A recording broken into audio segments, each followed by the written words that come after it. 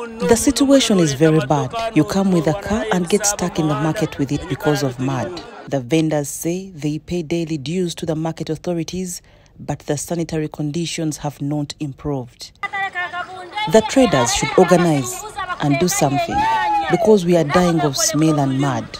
Others say that when it rains, the market becomes muddy and floods, destroying their produce. They want the authorities to put murram to solve the problem. They should come to us and work with them so that we work on this market. We shall even get diseases from this market. The situation is not good at all.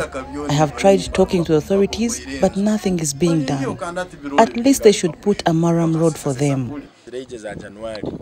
We have plans to solve problems affecting the market. We will use money that will come in January to put murram for them. Report compiled by Jonan Tusingwere for the news.